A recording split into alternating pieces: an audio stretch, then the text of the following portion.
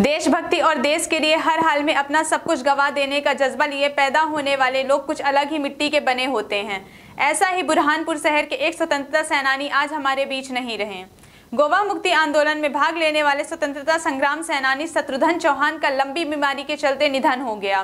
उनके निधन पर शहर में शोक की लहर फैल गई। उन्होंने गोवा मुक्ति आंदोलन में भाग लिया था, जिसके बाद उन्हें कई वर्षों तक जेल भुगतनी पड़ी थी। सजा काटने के बाद वे बुरहानपुर पहुँचे। बाद में वे यहीं बस गए। उनका अंतिम संस्कार नागझिरी घाट पर पूर्ण सम्मान गार्ड ऑफ़ ऑनर के साथ किया जाएगा। बुरहानपुर से हेमराज रघुवंशी की रिपोर्ट।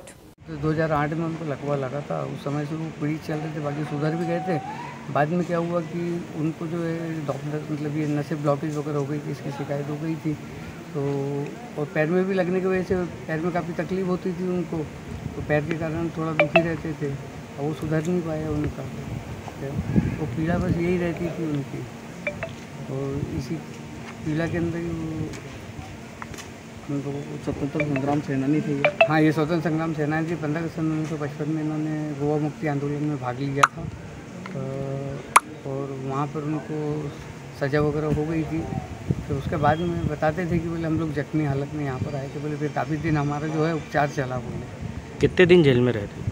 और सब उस समय तो बताते थे कि बोले भाई हमको करीब करीब मतलब उन्होंने एक बॉर्डर स्कूल का बना रखा था उसको जेल बना रखा था उसमें बोले कम से कम बोले हमको तीन चार दिन रख छोड़ा था इनको कुछ राष्ट्रपति अवार्ड अवार्ड भी मिलते थे हाँ। इनको नौ अगस्त दो हज़ार ग्यारह में मामले में राष्ट्रपति जी द्वारा सम्मानित किया था प्रतिभाताई जी पाटिल थी उस समय।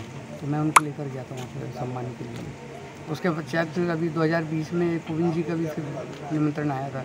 लेकिन परिस्थितियाँ बड़ी विपरीत थी और अस्वस्थ होने के कारण वो जा नहीं पाए और उन्होंने जो था वहाँ से कोई सब्ज़ी नहीं। यहाँ पर उनका सम्मान भेजा और काशीराम जी पटोले सब आए थे एक दिन महोदय उन्होंने यहाँ निवास स्थान पर आकर उनको सम्मान किया। स्वतंत्र संग्राम सेनानी थे कोई प्रशासनिक अफसर होता अभी आपके पास? जी तहसीलदार साहब आए थे और इनके अलावा वो अपने विधायक महोदय आए थे सीरा भैया जी। आके जा चुके हैं। क्या नाम मेरा दिनेश शत्रुघ्न चौहान। राजवाटिका विवाह घर।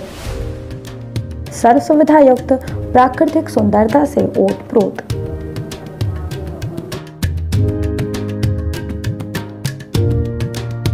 राजवाटिका विवाह घर में इंगेजमेंट तिलक, शादी रिसेप्शन वेडिंग शूट जन्मदिन पार्टी जन्माशा सहित अन्य कार्यक्रमों के लिए विवाह घर उपलब्ध।